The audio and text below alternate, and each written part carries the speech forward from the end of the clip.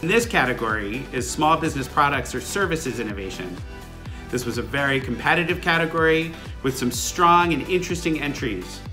Perhaps representing a trend across several of the categories, this submission was particularly interesting because it's building off of an open banking model. In this case, the judges were uniquely impressed by implementing banking as a platform and offering a solution that scales for individual micro entrepreneurs. And the winner is Banco Bradesco from Brazil. Congratulations. We are very proud to receive this award from BAI in the category of products and service for a more small business with an open banking solution that we offer for free for clients and non-clients to meet the needs of individual entrepreneurs in Brazil.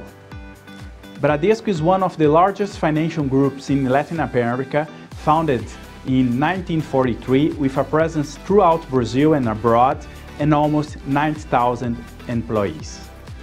On our Small Entrepreneurs platform, through the connections with startups, we offer non-financial services that help entrepreneurs to open and maintain their company, sell online, manage and grow their business. This platform is in addition to the entire portfolio of financial products suited to the needs of our clients. There are more than 10 million registered individual entrepreneurs in this number can reach 30 million in Brazil if we consider companies still not registered. In 2021, we will further accelerate this offer of value to this market, adding more products and service. This is how Bradesco challenges the present, creating solutions for the future that have a positive impact on our customers and the entire society.